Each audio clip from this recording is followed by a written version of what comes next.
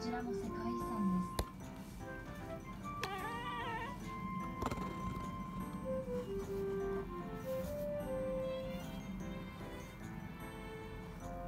アルタル大砂漠。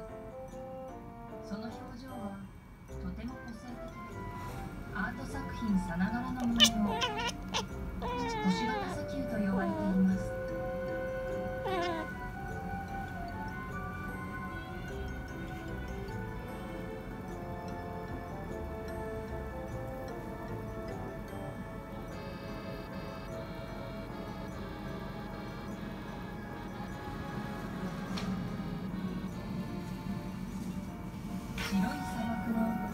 東遠く黒い大地が望めます。ピナカテ火山です。この溶岩地帯と先ほどのアルタル大砂漠。隣り合う黒白。2色の風景が今日の世界遺産です。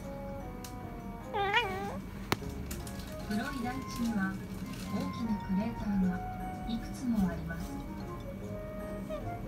形も大きさも様々です。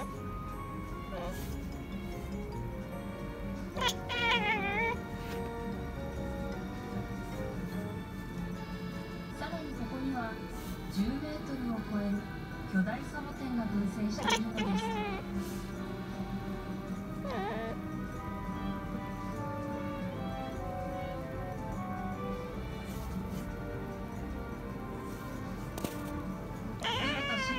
白の大地に巨大クレーターと星形砂丘を見に行きます。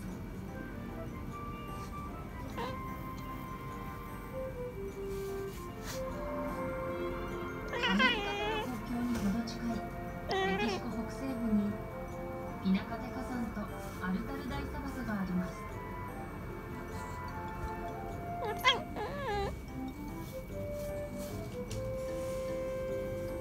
黒い溶岩